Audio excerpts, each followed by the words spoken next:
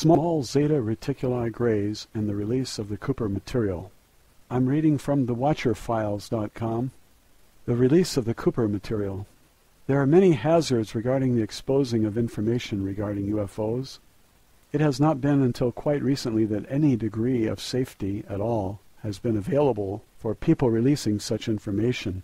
Were it not for the fact that Cooper released his information so far and wide and it filtered to so many people at once, newspapers, legislators, heads of state, people in important positions all over the world, he would have suffered severely.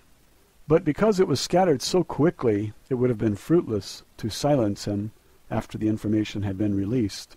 It would only have added to the credibility of the information. At the beginning of 1990, there was still an active debate in certain circles about what to do about Cooper, whether to deal with him in a threatening manner or simply discredit him. A campaign planned to use approximately $1 million worth of effort to discredit him. The money was to be used to imply that Cooper made up or gathered information from various sources and threw it together for a personal financial move. It was not to come through normal media channels, but through UFO magazines and newsletters in the form of articles and exposés, and through UFO groups, most of which are controlled. Alternate UFO scenarios were also to be released, so that by the time 1990 ended, many different scenarios would be floating around. People would be unable to decipher which one was true and which one wasn't. As long as interest was shown in the Cooper material by only a small group of people who happened to be curious about UFOs, there was to be no action taken. But if Cooper's material was taken seriously by credible people, these would be the target for the efforts to discredit him. Enormous amounts of previously highly classified information had been brought out into the open.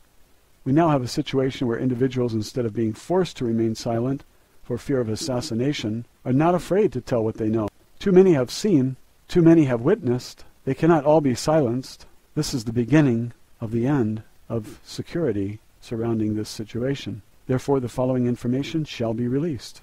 The species classified. The present number of alien types having contact with Earth right now is nine, with seven being relatively permanent and five being influential.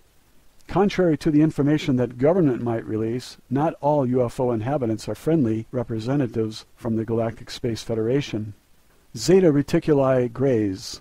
Small Zeta Reticuli Greys come from Zeta Reticulum, near Barnard's star, which is a neighboring star system to the Orion. They are very short, about three and a half to four feet tall, grayish silver in color, and have no sexual or digestive parts to their bodies. They are created through a cloning process of alien genetic engineering. They are an ancient race and have reproduced themselves for thousands of years. They have very limited facial features. They have large eyes, a very small slit for a mouth, and no nose to speak of. The eyes are large, almond-shaped, and black. They have evolved beyond the sexual reproduction process so that all sexual organs and their digestive tracts have totally atrophied. They are no longer capable of eating or indulging in sexual activities. They are a close relative to the insect family. The Zetas are the ones involved in the cattle mutilations. They absorb certain substances from parts of the cattle that stabilize them during the cloning process. This can be placed under the tongue to give sustenance and stability for some time. It is a substance that comes from certain mucous membranes, the lips, nose, genitals, and rectum, and also from certain organs. These glandular substances serve as nutrients in lieu of eating. Resting the substances under the tongue is not the only way to get nutrition. You may have noticed that the cattle mutilations generally result in all the blood being drained from the body. The Zetas have in their bases canisters and vats in which animals and human organs float along with a purple liquid to hold these parts in suspension. The Zetas swim in the mixture and absorb the nutrients through their skin. They use hydrogen peroxide in both the absorption and elimination process. The hydrogen peroxide also helps to preserve the liquid and organ mixture to keep it from spoiling. They have no digestive tract, and they eliminate through the skin. To eliminate, they need to pass the substance through some part of their body, much the same way plants eliminate through their skin or outer shells. They use hydrogen peroxide for helping with that elimination as well. The Zetas have also been referred to as the little green men because they tend to turn a shade of green when they have not received sufficient food. When they are in this state, they are very vicious. The cloning of these aliens can be done quite quickly, reproducing synthetic replicas. They have a technology that is much beyond that of humans, and that has led to the agreements with the United States government whereby exchanges of these techniques could occur. The Zeta Reticuli Greys are not masters of their own fate. They are rather subservient to a reptilian race of people from their home planet. The Zetas seek but are fearful of freedom from their masters. They seem to have some desire to work closely with humans in an effort to retain the freedom that they have on Earth which they have never experienced before. In their desire to retain that freedom from their reptilian masters, they would hope to play a role of being masters here on Earth, or at least having enough control so as to be safe from slavery by any other species. The Zetas are of two social classes, one being hawkish, the other more dove-like. The more dove-like Zetas are more refined and capable of more business-like behavior towards humans, while the other type is more abrupt, blunt, and crude in their directness. The Zetas desire the help of humans in an expected future confrontation with the reptilian masters, who are expected to follow soon within the next 20 years. This refers to the so-called asteroid that is on its way toward Earth. It is housing approximately 30 million reptilian aliens. It has, however, temporarily diverted its path as it moves into the constellation of Draco. Bellatrix Greys. Short. The short gray, which is shorter than the Zeta Reticuli, is from a star system near the Orion constellation, near the shoulder of the figure, in a star called Bellatrix. The short gray, which is shorter than the Zeta Reticuli, is from a star system near the Orion constellation, near the shoulder of the figure in a star system called Bellatrix. They are shorter, much like dwarfs, about one and a half feet tall. They are more indirect, but just as vicious towards humans as the Zetas. Both the Bellatrix Greys and the Zeta Reticuli Greys are related genetically from the same root race and look very much alike except for size. Orion Greys, tall.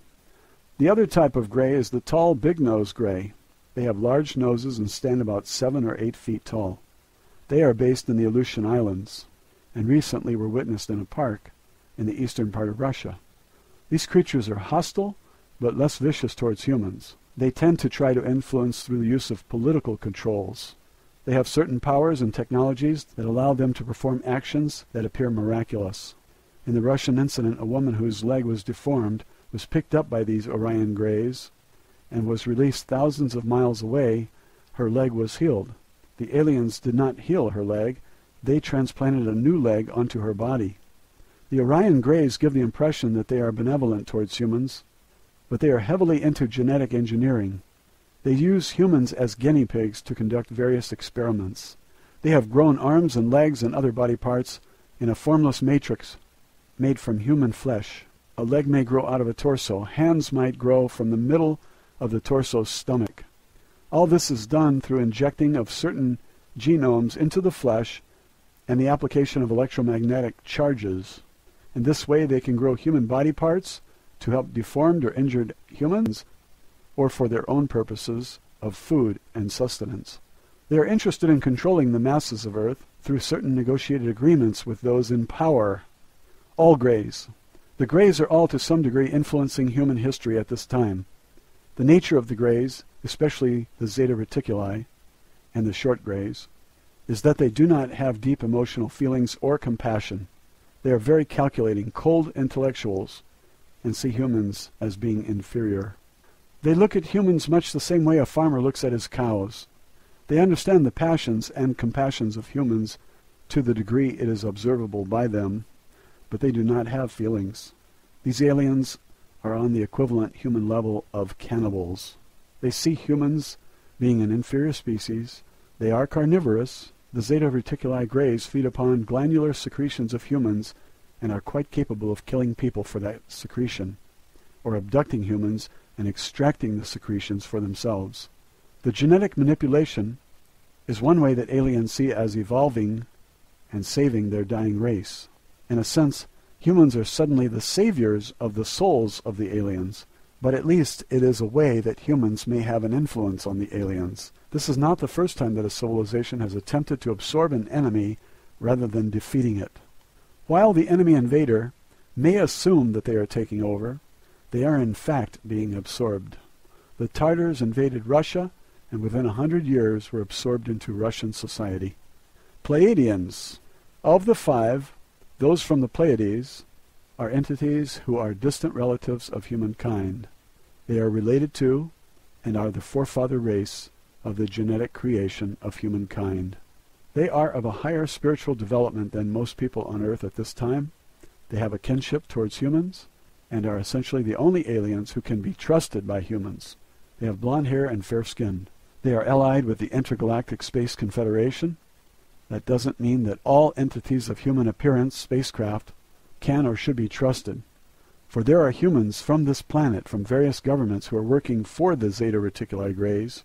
Some from the Pleiades are subordinates to the Greys, having been abducted as children or offspring of the abductees. They have been raised and trained by the Greys as servants. The humans from the Pleiades have made several Earth contacts but in recent times have suspended visitations to Earth. The government was told that this was because of a space law that states that the destiny of a people shall not be interfered with unless it threatens themselves or others in the galaxy. If the threat of nuclear war became strong enough, these entities indicated that they might interfere, but only to the degree of reducing that threat that could also set up a conflict between the Pleiadians and the Zeta Greys, to whom a limited nuclear war is seen as beneficial. Since the humans have made an agreement and a pact with the Zeta Greys, even though there were warnings by the Pleiadians against this, there is now a hands-off policy. The Pleiadians feel that the humans have made their bed and now they must lie in it. It is not likely that humans will be rescued from the planned events simply to make things easier for humans to overcome the masters they have agreed to work with. Draco Mothmen. In the constellation of Draco, there is another race of entities which has in the past visited Earth. They are eight foot tall, dark nocturnal aliens who appeared around graveyards and parks. They have red eyes that glow in the dark and wings to fly. They are referred to by us as Mothmen. They are also the source of legends of the past relating to gargoyles and valkyries. Even some quantities of vampires have been taken from the qualities of this creature, the ability to fly and nocturnal habits.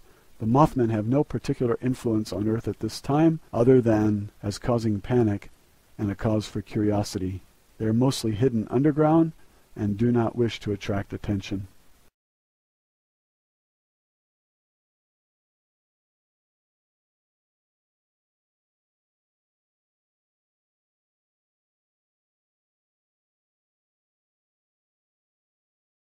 Small Zeta Reticuli Greys and the Release of the Cooper Material.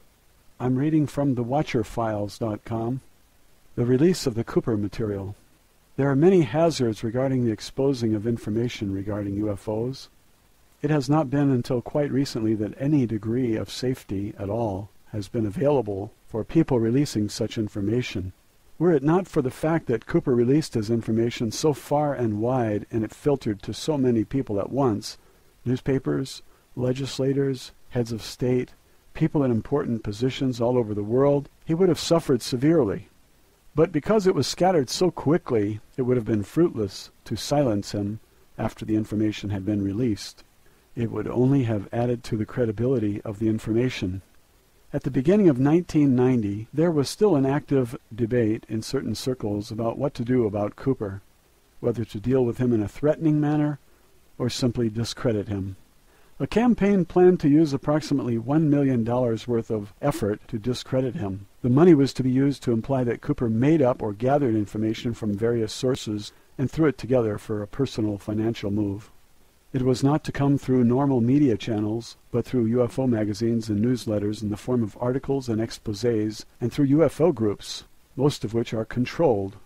Alternate UFO scenarios were also to be released, so that by the time 1990 ended, many different scenarios would be floating around. People would be unable to decipher which one was true and which one wasn't. As long as interest was shown in the Cooper material by only a small group of people who happened to be curious about UFOs, there was to be no action taken. But if Cooper's material was taken seriously by credible people,